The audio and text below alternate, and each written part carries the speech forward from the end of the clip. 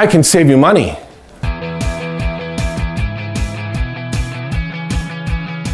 Ever have that salesperson call on you? How do they know?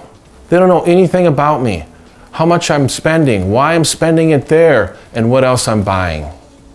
It's insulting to tell someone that you can save them money without knowing any information. What turns people off the most is assumptive salespeople. These salespeople are assuming everybody wants their product and everyone has a problem and everyone wants to change. It simply is not true.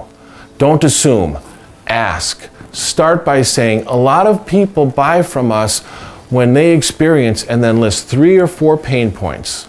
Finish by asking, can you relate to any of these? Here's how I use the technique. The companies that hire me are concerned about long sales cycles, frustrated with low closing ratios, upset when they have to cut the price to win the business, and distressed when their sales team is not getting in front of enough qualified prospects. Can you relate to any of these? If you said yes, maybe we should talk more.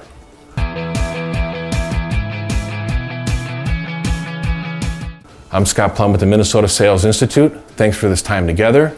I look forward to our conversation.